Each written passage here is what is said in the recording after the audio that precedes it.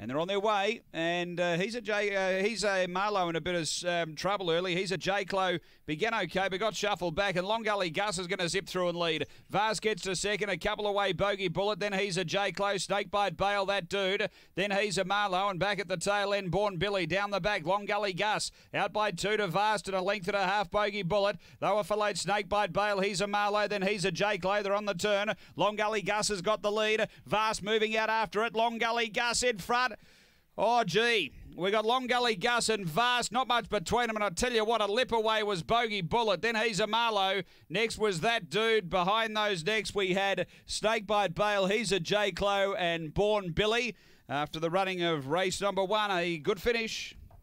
We stand by here. After the running of race number one, eight gets it. Number eight in the frame, Vast.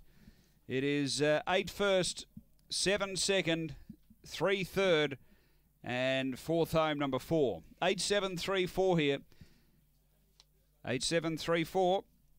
It is uh, a nose by ahead the margins, a nose ahead. Vast Tony Rasmussen, Gary Harridan, a white and black dog, August 2014, Cosmic Rumble, Pure Ask. Uh, second to seven, Long Gully Gus, Paula Herndon. He was grabbed right on the peg. Uh, Casey and all Long Gully Libby. And uh, third going to three, Bogey Bullet, Ben Rawlings, a Red Fawn Bitch, April 2015, Spring Gun, Bogey Beltar. So the favoured runners didn't really get into the mix in the early part of the race. It was Long Gully Gus and Vast who were the early speed makers. Bogey Bullet tucked in behind. He's a Marlow, got shuffled right back in the early part and was able to run on home at the end. So it's 8 7 3 4, 30 21 splits of